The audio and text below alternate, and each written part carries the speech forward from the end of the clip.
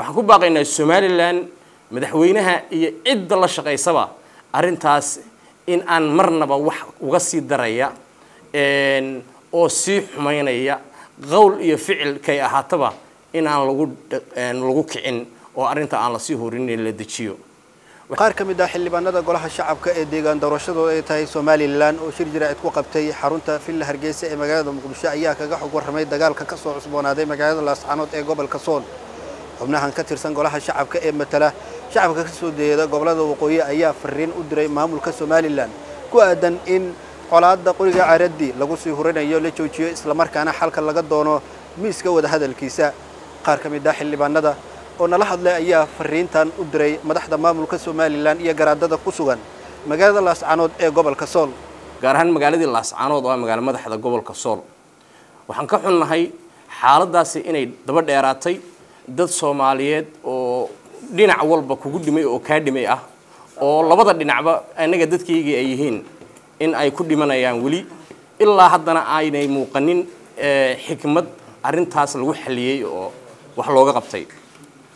Waxaan ka xunnahay magaaladaas oo ahayd magaalo barakaysan oo degan oo aan weligeed qax ka dhicin intii magaalooyinka soomaaliyeed laga qaxayey ee ay dagaalada sokeeye ka dhacayeen ee haddii alla ku royay inta ay la ka tirsan tahay iyo inta ku agdhowba ay qaxu ka dhacayay aan weligeed laga qaxin maanta in laga qaxay. Waxaan ka xunnahay in dhallinyaradii waxbaranaysay ee jaamacadaha gelayay ee la doonayay in dalka soomaaliyeed iyo dalalka gobolka iyo guud ahaan dunidaba ay wax ka bedelaan wax ku soo biiriyaan in maanta ay qaxeen. Qaarkoodna ay haddii alla kuu rooyahay iyo waliba dumar iyo rag ba isugu jiraa ay qoryo dhabarka ku qaateen oo ay dagaalamayaan cidda ay la dagaalamayaanna ay ciddoodii uun tahay oo cid ka fog aanay ahayn. Waxaan ka xunnahay in duqaydii iyo dadkii waxgaradka ahaa iyo culimmadii iyo waayeelkii iyo haweenkii magaaladooda joogay ee ku noolaa ee ku cibaadaysanayay iyaguna inay qaxeen. Waxaan ka xunnahay weli arrintaas in aan xal laga gaadhin oo haddii ilaahay ka dhigo aan arrintaasi la soo afjarin oo aan la xakamaynin xaaladda sii xumaanaysa iyo dhiigga dhallinyarada soomaaliyeed ee dhimanaysa ee dhinac walba is ah. Waxaan ku baaqaynaa annagoo ah xildhibaanadii deegaanadaa ka soo jeeday qaar ka mid a waxaan ku baaqaynaa in arrintaasi hadda way gaadhay wakti laga garowsado in la joojiyo dhiigga dadka soomaaliyeed ee isku dhimanaya isku dhammaanaya arrintaa in la xakameeyaan ku baaqaynaa. Waxaan ku baaqaynaa in annagoo xildhibaana ana nala ogolaado inaanu xalkaa qayb ka noqonno oo arrintaas aanu gallo oo maadaama hadda aanu golihii ka fasax qaadanay aanu tabliiq nabadeed ku tagno gobolkaas oo nalagu soo dhoweeyo oo aanu wax ka qabanno arrintaas xakameynaan ku baaqaynaa waxaan ku baaqaynaa in garaadada gobolka sool ee ku sugan magaalada laascaanood arrintan ay markan iyagu mas'uuliyad gaar aysi saaraan maadaama magaalada gudaheeda iyagu ay joogaan. Waxaan ku baaqaynaa somalilan madaxweynaha iyo cidda la shaqaysaba arrintaas in aan marnaba wax uga sii daraya oo sii xumaynaya qowl iyo ficil kay ahaataba in aan lagu lagu kicin oo arrinta aan la sii horinin la dejiyo. Waxaan soo jeedinayaa bishii rabadaan ee barakaysnayd baa soo dhow. Waxaan soo jeedinayaa dadkeennu inay iscafis iyo haddii alla ku roon yahay iyo talo ay la yimaadaan. Hadda wixii ka dambeeya in laga toobad keeno wixii duniba gobolkaas ka dhacday ee dhiig islaami la daadiyey in laga toobad keenaan doonayna runtii hoos baan u ooyeynaa dareenka iyagu wuxuu la jiraa dadka dulmanaha mushkiladii dhibaatadu ka soo gaadhay. Ma arka anigu xal inay tahay xabadi inay xal tahay ma arko. Waxaan ugu baaqayaa dhinacyada isku haya magaalada laascaanood in nabad lagu soo dabaala arrinta.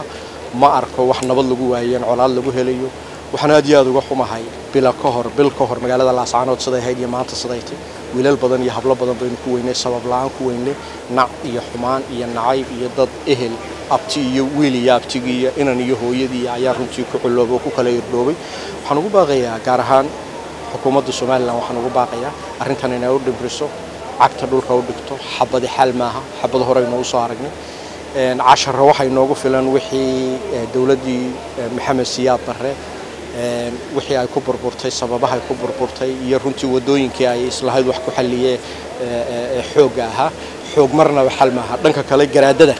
Garaadada iyo shacabka waxaan ugu baaqayaa runtii nabadda. Nabaddaan ugu baaqayaa. Wadahadallada in la furo miiska wadahadalka nagu soo noqdo. Ilaahay dartii iyo bishaa ramadaan ee bilanaysa ee barakada badan darteed in colaadda iyo dhiigga lagu joojiyo miiska wadahadalka lagu soo waxaanaynu arkayno iyo dagaaladan iyo dhiiggan daadanaya runtii waa farac ka dhashay asalka. Asalku waxa weeye waa tabashooyin siyaasi oo in muddo ah soo jiitamayey in muddo ah runtii soo socday aanan u arko runtii wax badan oo wax laga qaban karayo imanka ama laga qaban kari laha inay jirto. Mar kale waxaan ugu baaqayaa nabad baan ugu baaqayaa garaadada.